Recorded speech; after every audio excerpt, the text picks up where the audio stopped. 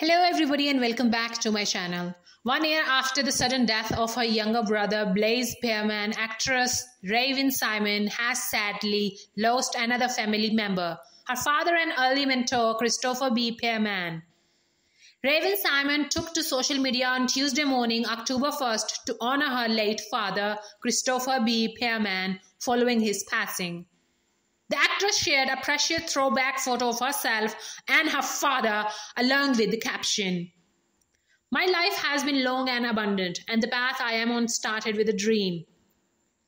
Hope he is watching with a smile on his face.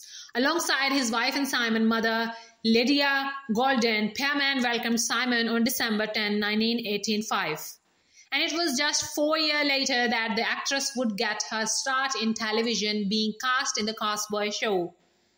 Pearman would also become his daughter's manager when she was three, before the actress asked to manage herself once she was an adult. She got to a point, you know, she said, Daddy, I can run my own company, I can run my own thing a few years ago. Pearman told NRP in 2010, and I am like, you know, you have the tools.